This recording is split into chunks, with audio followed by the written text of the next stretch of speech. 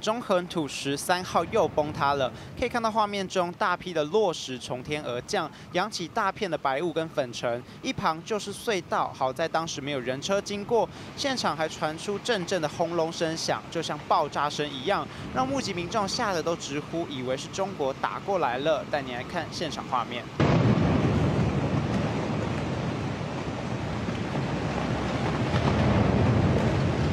我以为大陆打过来。